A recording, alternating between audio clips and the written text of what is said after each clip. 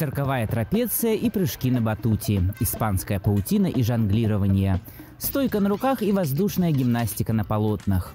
Школа трапеция – единственная в Вашингтоне и окрестностях, где обучают самым различным жанрам циркового искусства. А главное, что двери школы открыты для всех. Наши ученики приходят к нам с самыми разными целями, имея разный опыт. В Вашингтоне много людей, которые занимаются цирковым искусством ради развлечения.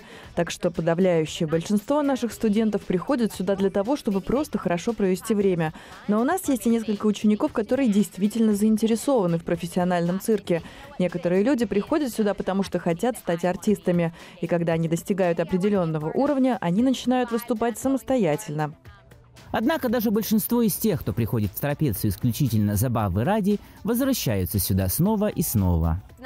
Ведь это не аттракцион в парке развлечений, это практика, то, в чем можно добиваться прогресса и осваивать новые навыки. Цирковое воздушное искусство, батут, полет на трапеции – все это не только приносит радость, но и постоянно открывает для вас что-то новое. Самому молодому ученику школы всего 6 лет, а самому старшему уже за 80. Здесь нередко можно увидеть бабушек и дедушек, летающих на трапеции. Многие приходят сюда и говорят, я и в жизни бы не подумал, что на такое способен, что теперь я могу висеть на трапеции и делать сальто. Люди здесь регулярно делают то, чего они и не ожидали от себя. Так что вы можете подумать, о, я слишком стар, чтобы научиться чему-то подобному. Гимнастам нужно начинать заниматься, когда они совсем маленькие, иначе вы никогда не станете гимнастом. С цирком дело обстоит иначе. Вы можете начать в любом возрасте. Если ваши сила, гибкость или подвижность не совсем те, которые необходимы для выполнения определенных действий, мы будем работать над этим вместе с вами, и вы приобретете эту силу и мобильность. Прыжки на трапеции не требуют физической подготовки. Даже если вы никогда не ходили в тренажерный зал, можете смело приходить на занятия, уверяют инструкторы школы. Упражнения на трапеции помогают поддерживать форму, повседневная активность и вовлеченность. Это также отличный способ развить навыки и в других сферах вашей жизни, будь то умение следовать указаниям и инструкциям, развитие координации или совершенствование ваших других хобби, например, в нырянии или танцах. И этот список можно продолжить. Ну а тем, кто не сразу решается прыгнуть на трапеции, потому что попросту страшно, на помощь приходит специально обученный кот Гермес.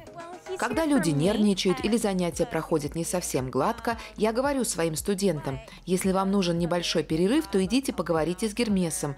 И он обычно довольно хорошо справляется. Он очень разговорчивый, поэтому им определенно есть с кем поговорить. Вот уже более года школа трапеции сотрудничает с некоммерческой организацией Servio City, которая помогает детям из малообеспеченных семей.